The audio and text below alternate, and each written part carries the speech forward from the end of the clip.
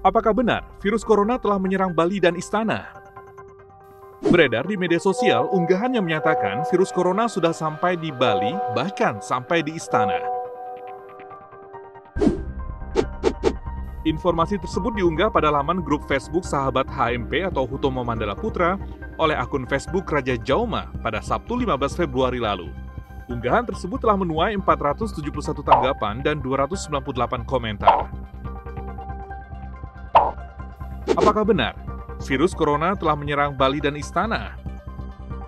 Setelah ditelusuri oleh tim cek fakta medcom.id, klaim bahwa virus corona sudah menyerang Bali dan Istana tidak berdasar.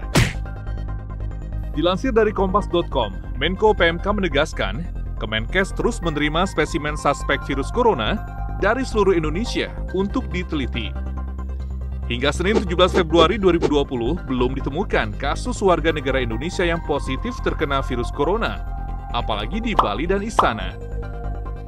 Kemenkes terus melakukan observasi terhadap orang yang menunjukkan gejala terinfeksi corona, terutama bagi yang baru pulang dari dataran Tiongkok, dan sejumlah negara yang warganya terinfeksi virus corona.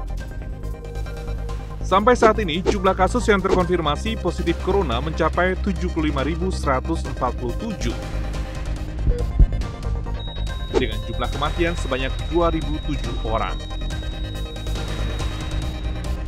Kesimpulannya, klaim bahwa virus corona sudah sampai di Bali dan Istana adalah salah.